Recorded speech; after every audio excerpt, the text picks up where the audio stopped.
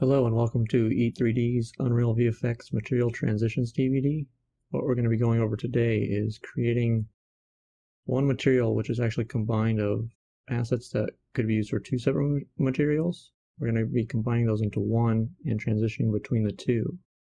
Uh, we're also going to build off of that using similar techniques and then create a nice dissolve effect now, with special effects, as many of you know, require assets from many other departments, many other people. It's not just up to the effects artists, and such is the case with this DVD as well. Uh, for example, the environment you see here is using assets all recycled from the Materials DVD, which some of you might have already seen, created by Ricky Babington. And the character here was created by Adam Schumann and was rigged by JP Self, which was animated also by Ricky Babington. We'll also be triggering the transition and dissolve effects through Kismet Matinee. Let me give you an example of what the end result will be. You can see our character there starts out as a stone statue.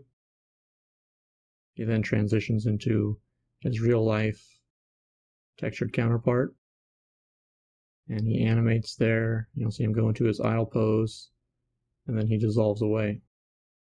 And not only is that dissolve a a pretty cool effect, but it also acts as a great way to get rid of enemies on screen. You can have them dissolve and then through programming and scripting have them completely deleted from system memory.